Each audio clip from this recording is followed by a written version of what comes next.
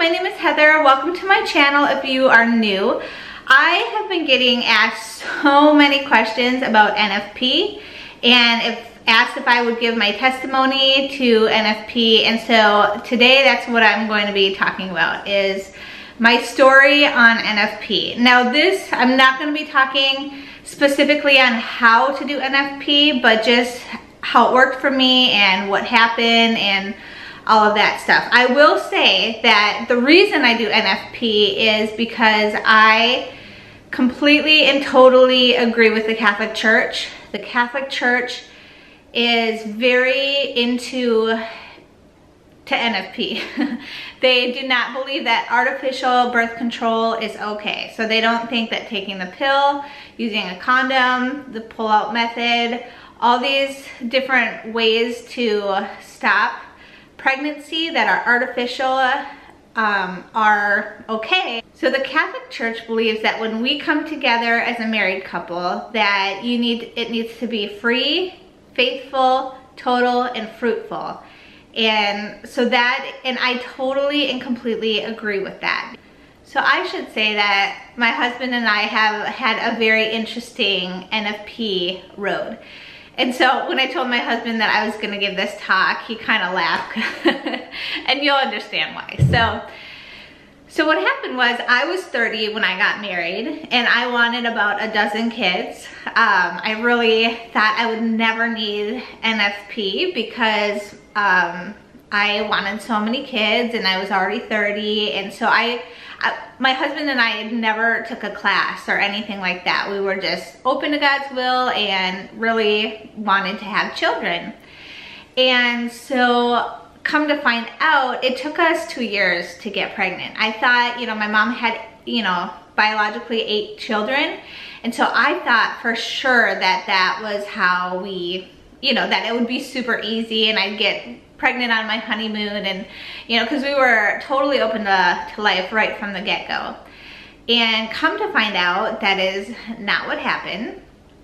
And so what happened was two years later, almost to the date, we had our our first child. And I even bought an ovulation kit because I just wanted a baby so much. If you know me, I love children. I was a nanny before. I just have always been so excited about being a mother and a wife. And so I was heartbroken. It was so hard, the infertility for the first year and a half. And so I was really struggling. And so I bought a ovulation kit to try to get pregnant. And come to find out, I finally got, I got pregnant, I think that week or something. Like, of course, you know, I buy the ovulation kit and I get pregnant. I find out I'm pregnant like a week later. so I feel like God's kind of funny like that sometimes. But so didn't need it. So I actually got rid of it because I'm like, oh, I'll never need that again because, you know, um, cause here I am pregnant. It's, it's worked, you know. So I had my first child and I had to have a C-section. It was a really rough, preg or not pregnancy, but um, delivery. And I thought it would go easy. My mom had, you know, eight all naturally, and I have a whole thing on C-sections videos if you want me to, to post that. But I um, am pregnant with my fourth, and I'm doing my fourth C-section. So, and that's where my NFP story comes in. So, So anyway, so I end up having a C-section and it is rough. It's a really rough recovery and just, yeah, it was rough. So come to find out, I get pregnant. Um, what was it? Six months, five months later, six months later. And if you know anything about C-sections, you're not supposed, you're supposed to wait a full year, let your body recover before you have another baby. So come to find out that, you know, when they cut me open for my second C-section, the doctor, you know, told me after that my uterus was extremely thin and she recommends that I have no more children and that, you know, she just kind of seemed like in a panic. And so of course I'm in a panic because I wanted, you know, I wanted okay, I'll probably seven kids is more, more realistic, but I, I wanted a big family. And so I had, you know, that kind of freaked me out. And I had, and that's what introduced me to NFP is because pretty much the doctor was like, you're gonna die. Like she, looking back now, she was very dramatic. And I just wanna give you a heads up if you are having C-sections, some doctors are extremely dramatic about um, about it and act like the world is coming to an end and that is not always the case. So anyway that's a whole other story and like I said I have a c-section video that I talk all about all that. So um, so freaked out as I was I you know I thought maybe do we use artificial birth control like my body you know, I could die, the baby inside of me could die if I get pregnant again, like what do I do? And thankfully, my amazing, wonderful husband was like, Heather, that is not an option. Like that is not okay, like in the Catholic Church. And I knew that, but a part of me was thinking, you know, what if, you know, maybe there's a certain circumstance that the church is okay with it. Come to find out, there's nothing, like pretty much there is nothing that that the church will be okay with you using artificial birth control. So, I, and and that makes sense. Like it, it's very, and thankfully because now I have, I'm on my fourth beautiful child, and so I, I can say that I live freely and openly for God. You know, I um, you know, I feel bad that I even thought those thoughts because I understand the church's teaching on them now and it makes sense, but at the time I was freaked out and you know, all of that. So anyway, come to find out, so I started doing, um, my husband and I went to an instructor and we started using the Creighton method, which is all about the, the mucus, you know, like the stretchier and whiter your mucus is, the, um, you know, if it looks like egg whites, then you're extremely fertile and so on. So, so we did that and, and it seemed to be working for, I want to say a year and a half. It worked for a year and a half and, and then my husband, uh, his company wanted him to move to China and wanted us to move with him for a year and they didn't know if I could go with him and you know it was just a very stressful time. Turns out that um, I believe that my body double peaked which can happen if you're under a lot of stress and so the NFP, because at a certain point I was like, oh, my fertile point, you know, happened and I'm good to go, you know, and that's actually not what you're supposed to do. You're supposed to continue every single day to use the um, you just, you wipe and you see if there's, you know, the, the mucus. And so, so I was not doing it completely and totally the way you were supposed to. But come to find out, God had other plans and used that. And so I found out I was pregnant literally the day the Packers were coming. Found out I was pregnant and freaked out. Like like you can you would never know. I was hysterical. I was crying. I was like what? I cannot have a baby in china. Like you know just oh it was very dramatic for me. And so um so it didn't work. So my the creighton method that was the first time didn't work. It was a little rough. Um and and which was which was hard for me. So anyway, so then have the baby, turns, looking back now, it was awesome.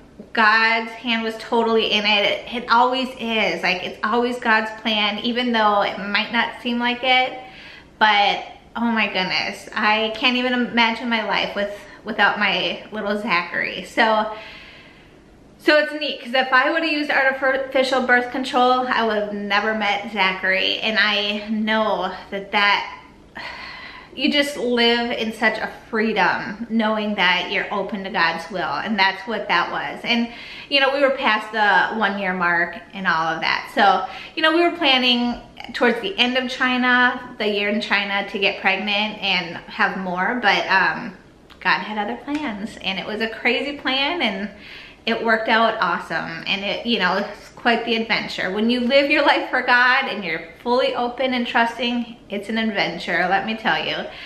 And it's awesome. But, um, so that was my first time where my, the Creighton method didn't work. And I will say it was, I had, we had an awesome instructor. She was great but it was me. I was not the I was not very good at being consistent and all of that. So so if you're into Creighton method and this then don't know that I I do agree with the Creighton method. I just it's not very good for me because of my circum I'm just not good with it. Let's just say that.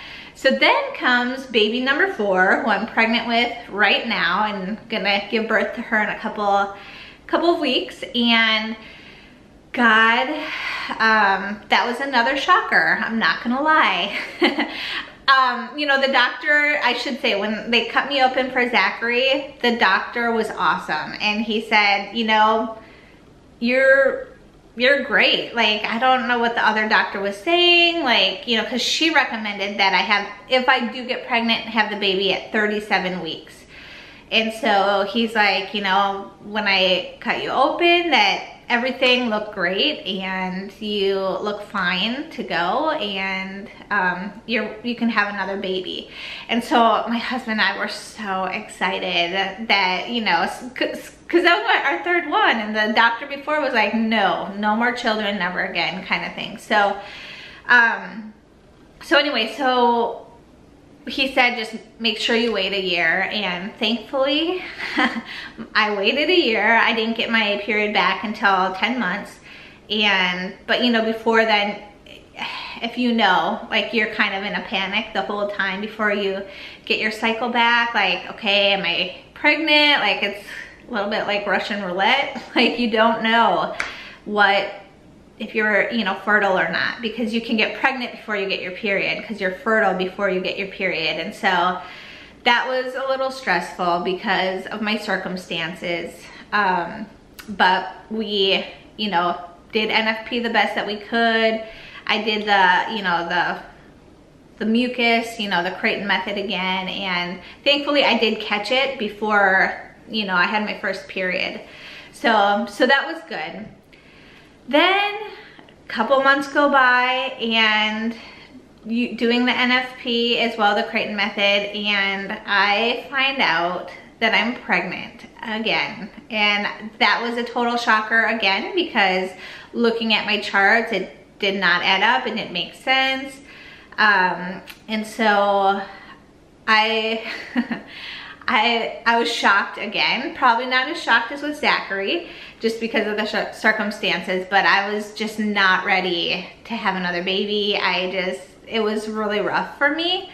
I didn't know what to do. I mean, obviously I'm gonna have the baby and it's gonna be great and it's gonna be God's will and all of that. So, um, but it was just rough. It wasn't what I had intended. You know, we were gonna wait at least, you know, I, I had a whole plan to, you know, take my husband on vacation. Like we, we'd go on vacation in the summer because the kids would be old enough. And uh, my sister's wedding was in the summer. So I was, you know, I didn't want to be big and pregnant for her wedding. And if you know, I was big and pregnant for her wedding. and it was beautiful. It was fine. And um, I fit into the, the bridesmaid's dress, thankfully. But anyway, but it was just something that I was not planning. I was going to try to get pregnant in the summertime and it just wasn't God's will, you know, and that's the awesome thing about NFP is it's not about my will. It's not about me, it is about God, you know, and and so anyway, so with all this being said, I feel like the Creighton method for me, and I know a lot of other women who struggle with the Creighton method because